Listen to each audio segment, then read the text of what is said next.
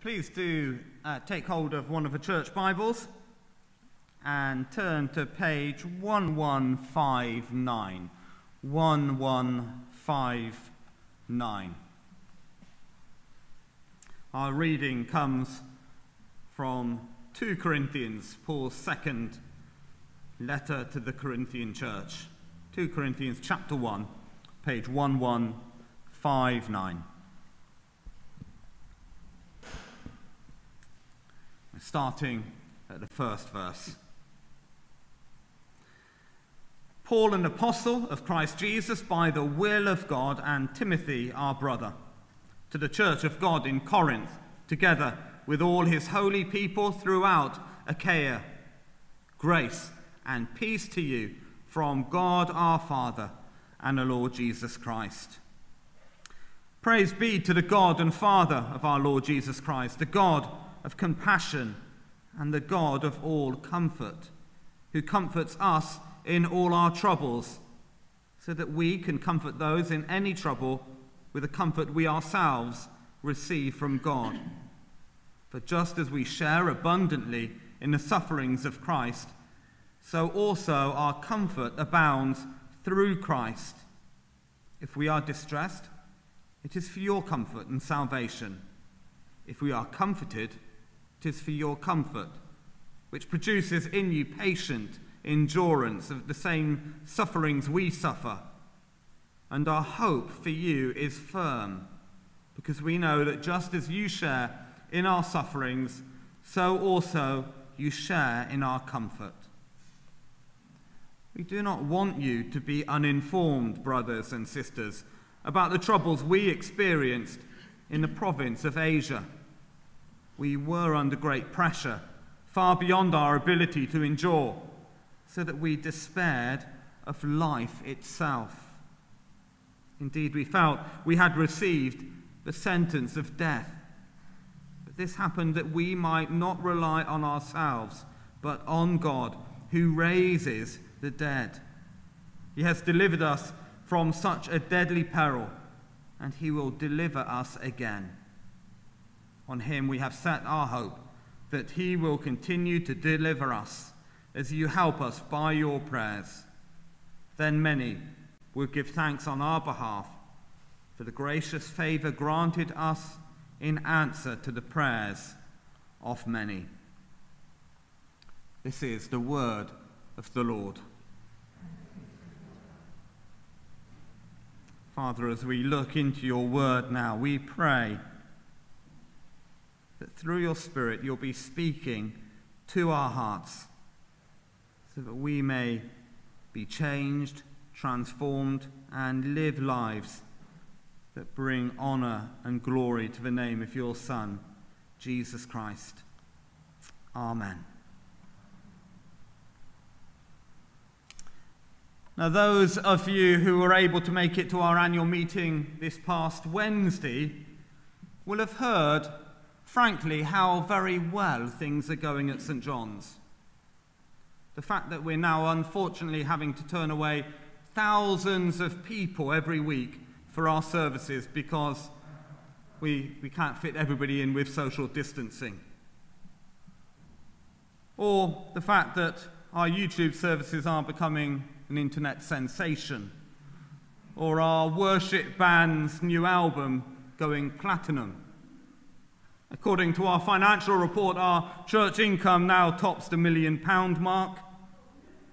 And I guess so much of our success is down to the highly intelligent, capable, charming rector who somehow combines amazing pastoral care, preaching of the highest caliber, slick organisation, along with real humility. Today, you really are privileged to be here at St. John's. If you were here on Wednesday, you'll know that's not quite true. But we do like success, don't we? We like that to give that impression that everything is going well, that we are strong. In life, we're told to play to our strengths or to put our best foot forward. Our CVs focus on our skills and achievements. That's what our, our culture tells us to do. So we fill our Facebook pages with pictures of risen cakes, gained certificates, and flattering photos. I've yet to see anybody put on their Facebook page that they failed their driving test. Success and strength is celebrated, and, and to be fair, it pretty much always has been in Roman and Greek culture. Success, achievement, victory was literally paraded in the streets. Now, we're beginning a sermon series looking at Paul's second letter to the Corinthian church. And in this letter, we find out that the Christian faith turns the culture of strength and success on its head. Listen to St. Paul here. Uh, rather than bigging up his strength as an apostle, a, a leader of leaders within the church, what does he say at the beginning in verse 8? We were under great pressure far beyond our ability to endure, so that we despaired of life itself. Indeed, we felt we had received a sentence of death. This isn't an upbeat, self promoting Facebook post. Our Paul is real. In fact, it's pretty dark, isn't it? We received a sentence of death. He may well have been the one who founded the church in Corinth. He may well have been the one that we remember today as the great apostle. But it certainly sounds as if Paul is depressed, at the least. Look at the downbeat words in these first 11 verses distress, troubles, struggles, sufferings, despair, peril, death. Now, in the coming weeks, we'll explore uh, what was going on in the church, why uh, Paul is writing this intensely personal letter.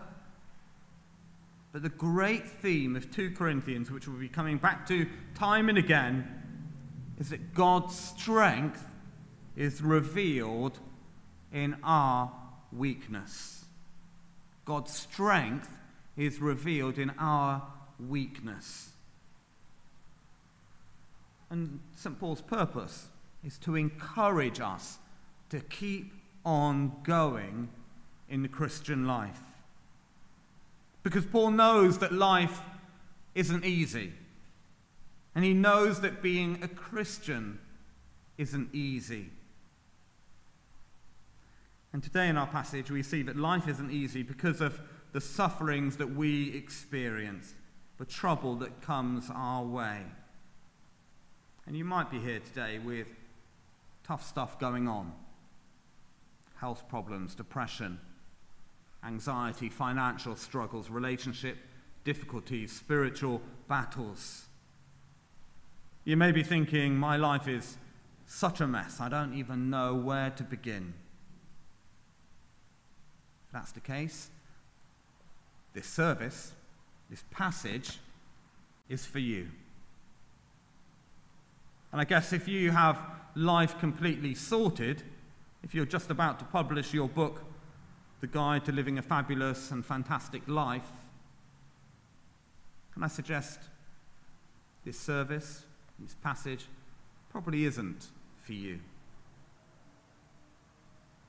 But in the midst of suffering, we see two important points. Firstly, in our suffering, we do not need to be alone.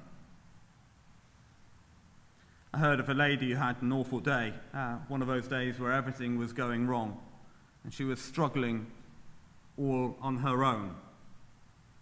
And she received a text that simply said, I'm here for you. Powerful and timely words that just hit the spot, and tears rolled down her face. I'm here for you. And when she gathered herself, she, didn't, uh, she realized she didn't recognize the number. And so she texted back, Thank you so much for your kind and thoughtful words. Can I ask you, who are you? The reply came, Your taxi driver.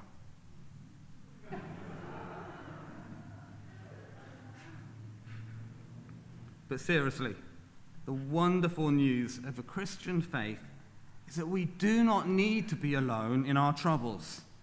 Verse 3 We have the Father of compassion and the God of all comfort. When we suffer as a Christian, we share in the sufferings of Christ, and therefore comfort, our comfort, abounds through Christ. Actually, it's only the Christian faith that gives a credible response to the suffering we experience.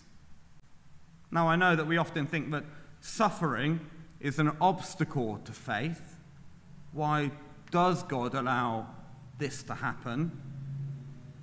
Now, I'm not saying that these are issues that we can simply sweep away. Now, suffering raises all kinds of hard questions for the Christian. But suffering raises even harder questions for those who are not Christians. The evangelist Glen Scrivener says that all other responses to suffering boil down to two responses. One is chaos. Well, there is no reason, it's just the chaos of the world. Random chance or bad luck, if you like. There's certainly no meaning to the suffering you experience. Don't even bother to think about that question why. Just chaos. But in my experience, everybody is looking for a reason. They want to know that their suffering means something. So, chaos is one response. The other is, is karma. You may be suffering, but you deserve it. Whether it's the, the traditional Hindu idea that perhaps in the previous life you did something wrong, or, or perhaps that kind of just that general idea that life catches up with you. It's karma. I want to suggest there's certainly no hope or compassion in karma. But a Christian faith says something different in the face of suffering. Because God the Son, as we remember when we come to communion every week, God the Son suffered more than any. He entered into our suffering. He knows all about it. God walks with us through suffering and gives his compassion and comfort. Paul also, makes it clear that it isn't only God who walks with you through, through your troubles. Now, we walk together. A few weeks back, when we looked at the Lord's Prayer, we saw the we and the us and the our words, our Father. You see, we heard that praying isn't meant to be a solo activity. It's something we do together in community as a church. And just as we pray together, we also suffer together. Verse 4, our troubles. Verse 5, we share. Verse 8, troubles we experienced. And I could go on. See, the Bible knows nothing about Christians suffering alone. God is with us and we suffer together. I know there's a, a, tendency to retreat when things are tough, but it really shouldn't be that way. I often hear the words, I've lost contact with the church because I've been struggling with this or with that. when we're suffering, it's even more important to be together. The stiff upper lip or going it alone, that kind of mentality is nowhere to be found in the Bible. And we need this church, St. John's, to be the kind of church where we share in suffering, knowing that God is always with us and He's full of compassion and He's the God of all comfort, and knowing that we are here for one another. The second important thing is that in our suffering we are to rely on God. In verse 9, Paul gives an explanation for the suffering that they were experiencing together. You see, suffering is never meaningless. Suffering as a Christian always is serving a purpose. Again, don't get me wrong, this isn't a, a, a quick, easy platitude. The purpose of suffering doesn't take away the pain, the hurt is still there. And in this life, we, we may only just catch a, a, a very small bit of the picture.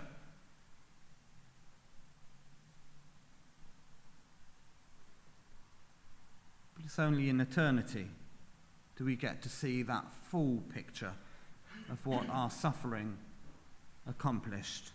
Only then will we be able to understand what God was doing.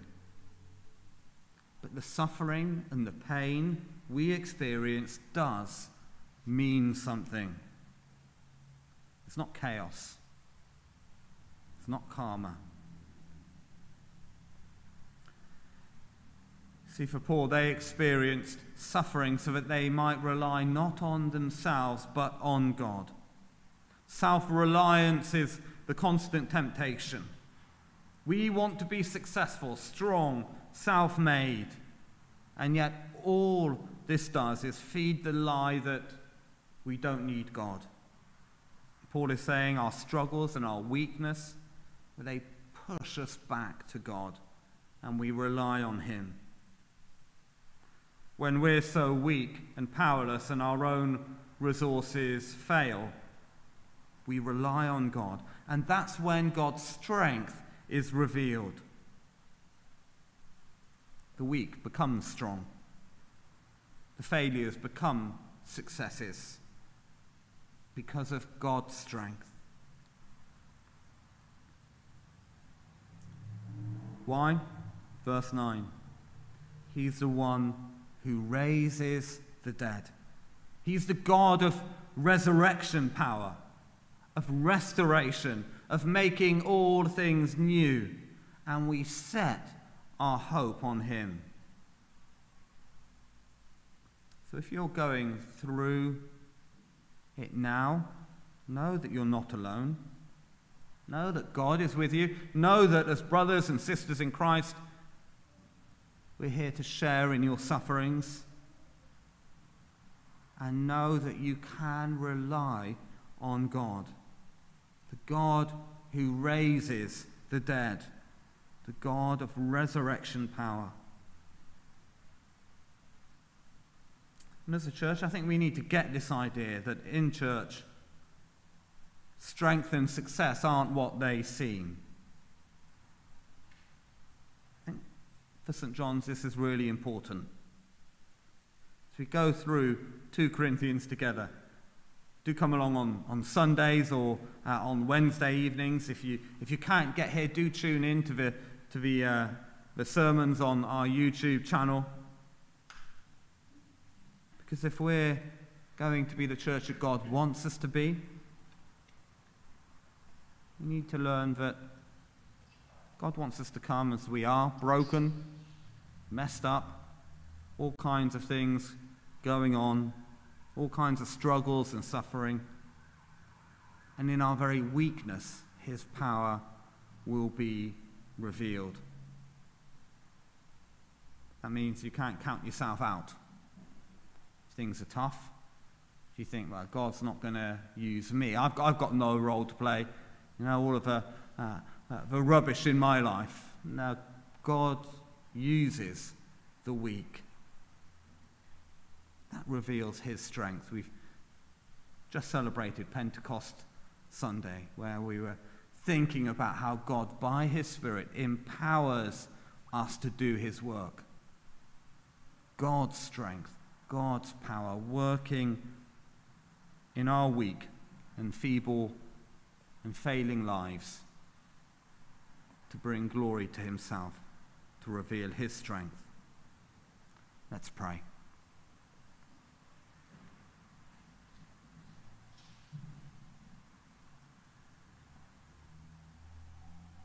Lord, by your Holy Spirit, take the words that we've read in your word, the words that have come out of uh, my mouth, and Lord, make these things real in our lives this coming week.